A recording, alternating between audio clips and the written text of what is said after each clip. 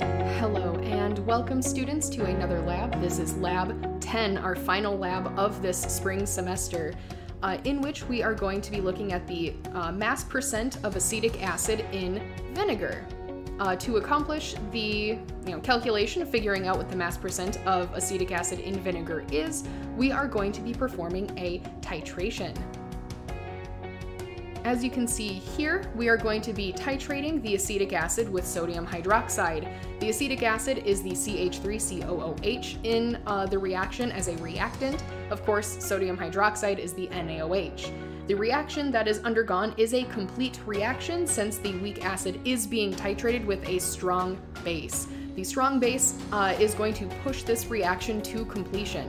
The products then are going to be CH3COO-, minus, this acetate ion, uh, along with some sodium plus. Sodium acetate is a completely soluble compound in solution, so we will be seeing a complete dissociation of that product, uh, as well as some water that is produced.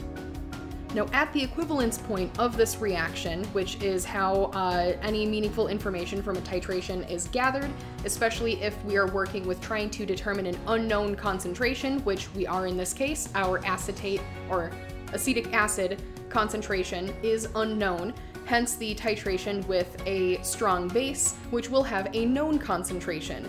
At the equivalence point, when both of these reactants are used up, we are going to have only conjugate base present that we will be able to meaningfully measure what its concentration is. The conjugate base that is present in solution will lead to a pH that is not a neutral 7 in solution, but rather an 8.7. We will be working with a slightly basic pH uh, when we are at the equivalence point. Now this is going to be useful information for us because when we are working uh, with a titration where one of the concentrations of our species is unknown, we have to have some way to mark when we are at the equivalence point. Now, what we are going to do uh, to accomplish this as a you know visual aid for when we are at the equivalence point of this reaction is we are going to be adding an indicator known as phenolphthalein to the solution. Phenolphthalein uh, is a weak acid unto itself when added into solution in acetic uh, or acidic conditions, the uh, solution is going to appear colorless.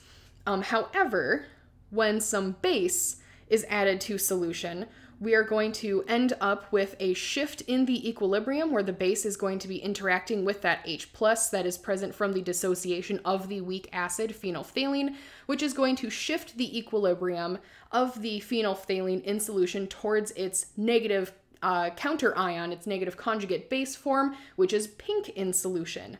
Now, the way that phenolphthalein is going to help us is that the end point of this indicator is a pH of 8.3, meaning that when our solution in its acidic form, our weak acid, our acetic acid, is going to be colorless um, when we add phenolphthalein to it. As we titrate our uh, acetic acid and add some OH minus into solution, we are actually not just titrating the uh, the weak acid, the acetic acid, we are also going to be working with phenolphthalein kind of behind the scenes.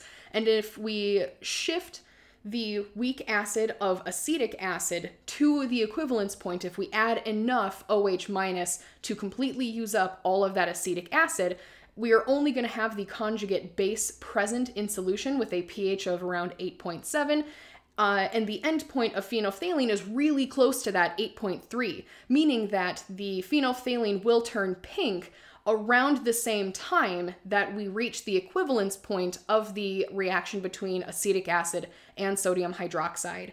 In other words, we are going to be performing a titration between the acetic acid and the sodium hydroxide right up until we hit its equivalence point, which is when the solution is going to turn pink thanks to our phenolphthalein.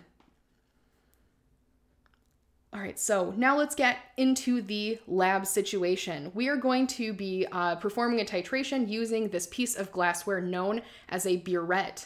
A burette is like a very long graduated pipette. It goes even off the screen vertically uh, from where I'm just showing it here, doing a pan up and pan down. The total volume of this particular burette is 50 milliliters. Um, I'm not anticipating using all 50 milliliters in one titration. It's actually a really good rule of thumb to pick a burette that you're expecting to use about half of its volume. In this burette currently, I have 0.1 molar sodium hydroxide. I'm going to be titrating vinegar, right? Our goal here is to find what's the mass percent of acetic acid in vinegar. Particularly, does this commercial uh, version of Heinz meet FDA standards? Um, sadly, the uh, vinegar itself is too concentrated in acetic acid to actually perform a meaningful titration. So what I'm going to do is extract 10 milliliters and then dilute it to a total volume of 250 using this volumetric flask. So off screen, that's what I'm doing here. Boom, diluted uh, vinegar is now present, and this is the solution that we are going to be able to titrate using our 0.1 molar sodium hydroxide. So I'm going to move the uh, vinegar out of the way here and uh, extract about 50 milliliters of the uh, dilute version of the acetic or of the uh, vinegar with a di diluted concentration also of the acetic acid as a result. I'm going to pour this into an Erlenmeyer flask. Erlenmeyer flasks are actually really nifty pieces of glassware since the glassware is shaped to prevent spillage when you are swirling it to stir. All right, so last but not least, in order to uh, performing meaningful titration, we're gonna have to add some phenolphthalein as an indicator. Uh, so notice as I take a couple drops of the phenolphthalein out and drop them into the flask, uh, we don't see any color change here. And that is because we, again, are working with a weak acid. This acetic acid is going to keep our phenolphthalein in its colorless, weak acidic form. So I give it a stir, everything's mixed and ready to rock and roll. So we are going to start this titration by uh, turning the spigot as we could see that I just did. And now there is some NaOH that is being slowly added uh, down into the flask. The titration again will be complete once we hit a pink solution. However, since the uh, concentration of the acetic acid is unknown, I'm not quite sure exactly what volume we are going to need of the sodium hydroxide to reach the equivalence point. What this means is that the first titration that I'm performing here, I'm not actually expecting to use as a trial with meaningful results. I'm just adding enough sodium hydroxide to be able to see when approximately am I going to hit my equivalence point.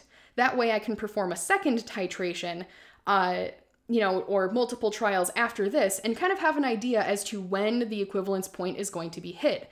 Now here we can see that I'm probably getting pretty close since the pink uh, color in solution is kind of hanging around a little bit um, turning the spigot off, stirring, seeing it goes away. We turn the spigot on again. We see that the color is here now to stay. Now, sadly, this is uh, an overshot titration. The color is way too vibrant. I have definitely added too much sodium hydroxide, possibly only by a couple of drops, maybe a milliliter, but I know approximately where the uh, equivalence point is. It was around like 23 milliliters of acetic or of the NaOH that I added to the acetic acid.